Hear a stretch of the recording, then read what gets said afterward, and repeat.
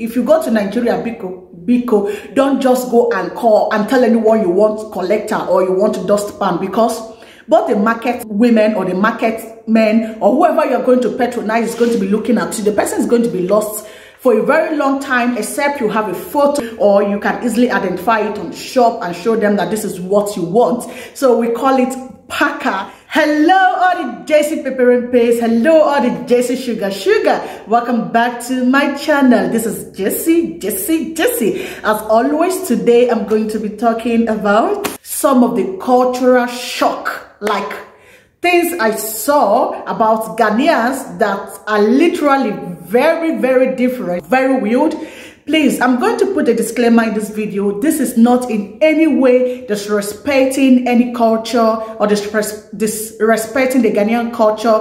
I'm trying to show or tell the differences between what we have back at home in Nigeria and what you are going to see in Ghana if you're in Ghana or if you intend um, visiting Ghana in the nearest future for whatever reason, then you should be familiar with this kind of thing. So when you see things like this or hear them say it, you are not going to be shocked. Because for me, I was really um, surprised. I was super surprised seeing that things we have at home, some certain things we have in Nigeria have different um, names in Ghana. So if you really don't demonstrate what you really want as a newbie in Ghana, both you and the person you are talking to will be lost. Like nobody will be able to understand each other. I know you may be wondering what is this girl saying and don't worry, I'm going to get right into the vid video in a jiffy. And I think at this point, I have to state that this might be because of um, the people who colonized us. Or as you all know, that Ghana was colonized by Britain. And most times, if you are very observant, you will notice that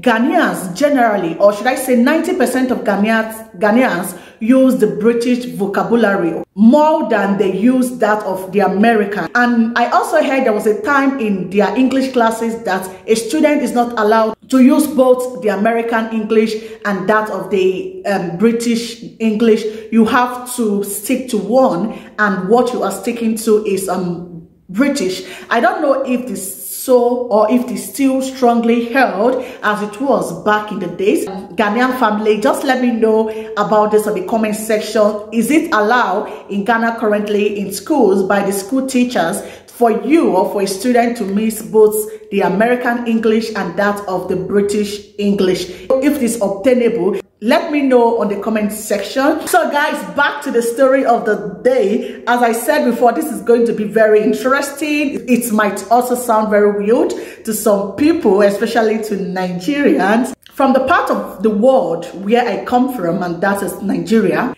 if you want to go and poop, you all know what poop is you can say that you want to use the toilet, you want to use the bathroom, and some other people like the elderly ones and those of them who really didn't go to school are going are going to say I want to use the bathroom okay? So when you hear in Nigerian calling bathroom they are automatically referring to bathroom so normally when we want to go and poop I go bathroom or I go toilet. But this is something that is very different. It is the opposite in Ghana. In Ghana, you are going to hear the Ghanaians call washroom.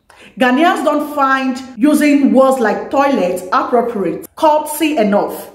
A Ghanaian would rather say, I am going to the washroom or I am going to the private. So when you hear washroom, when you hear private, what should automatically comes to your mind is the person wants to go to the toilet or bathroom. There was a certain time I visited my friend and we wanted to get a packer. I was sweeping, so I needed a packer to collect the dust, the dirt and trash. So I told her I need a packer and she was looking at me. She said, packer. So what's packer? I said, packer. I was like, you don't know what packer is. I had to go and bring the packer, show it to her and said, this, is this not packer? She said, oh, what's packer?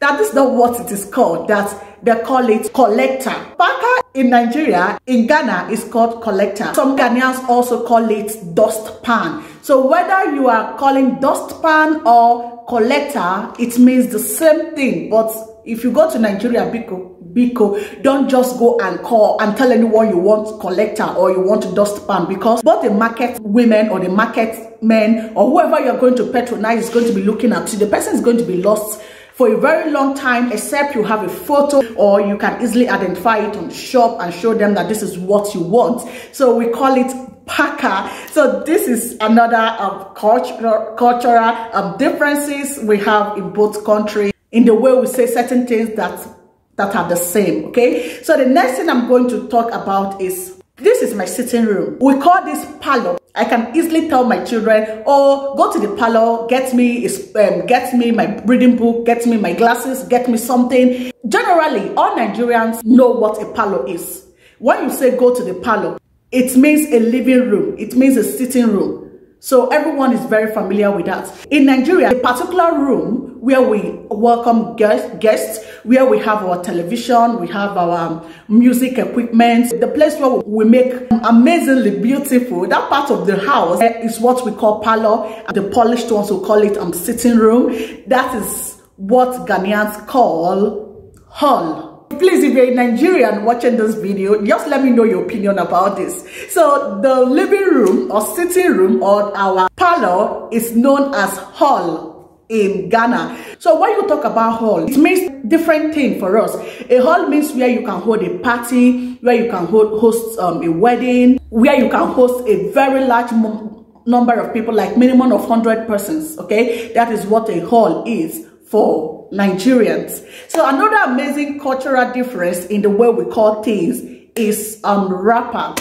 A Ghanaian do not know what wrapper is. If you tell a Ghanaian, I need a wrapper, the Ghanaian is going to be shocked and be looking at you. What we call wrapper is what Ghanaians call clothes. Clothes. Clothes. When you hear a Ghanaian calling clothes, they are equally referring to the wrapper we tie. Most of our parents at home will just tie it above their um, breast and some is going to tie it on their waist and put on the brows. Another amazing cultural shock is serviettes. I need to show you this. Fam, look at this, okay? This is a serviette. That is what we call it in Nigeria. For the record, serviette is a French word. For us in Nigeria, this is known as serviettes, okay? We use this we use this to dry our hands after um, using the bathroom or after eating in the restaurant. So this is serviettes. But in Ghana, Ghana refers to this as tissue. The popular one we call tissue is the one that is round in shape. I don't have a a photo to show you. That is what we call or what we refer to as tissue paper. When I'm going out, when I want to go visit a friend, I'm going to tell my family or whoever that is with me that, okay, I'm, I'm going with the box or I can call my friend and say, oh babe, I'm coming with a box. The first time I hear the word trotro, I was like, trotro. I was like, what's that?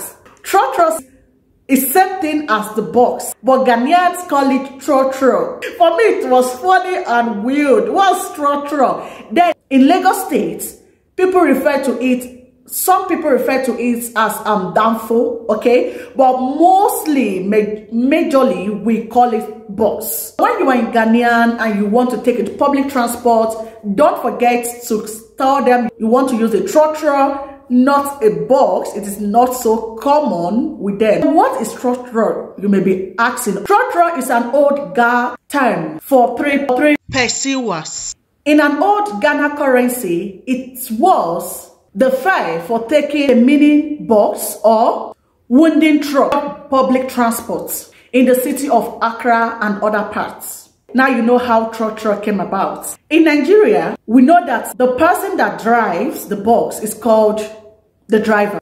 And the person that helps the passengers to come in or takes money, that collects money from the passengers, um, give them their, their change is called conductor. In Ghana, it is not conductor, okay? I don't even know why where that conductor name came about because in physics, we are taught that conductor has the ability to absorb or to give electricity, something like that. But that is a technology in um, science or in physics specifically. I don't know how the word conductor came into use for those people who help the drivers in public transport. So in Ghana, what you are going to hear is mates. Yes, M-A-T-E, mates. So when you hear someone telling you, oh, go to the mate, the person is referring to doctor. So that is another cultural um, differences in the way we call things. Now guys, look at this. What we call this in the parts of the world where I come from is nylon, nylon bag or waterproof. These are the two names we call anything that has to do with something like this. But in Ghana, it is referred to as rubber. Yes, rubber. Please, if you know the history why this uh, plastic bag is known as rubber, please just let me know in the comment section, okay? So we can all learn and grow together. In Nigeria, we have states. And this is because Nigeria is a federal country. Nigeria practice federalism, Why Ghana, Ghana practice um, unitary system. So in the unitary system, the country is divided into regions, not states. And these regions have have someone who governs governs it and the person is referred to as minister but in nigeria we call them the governor like Gov imo state governor anambra state governor enugu state kano state governor and in in ghana it is regional minister or ministers i have a lot more to say and if you want me to make a part two of this video just let me know on the comment section and please just drop other things you know that Nigerian call them and um, that is also different um, from the way Ghana call them. So thank you so much for watching. Till I come your way next time. Bye.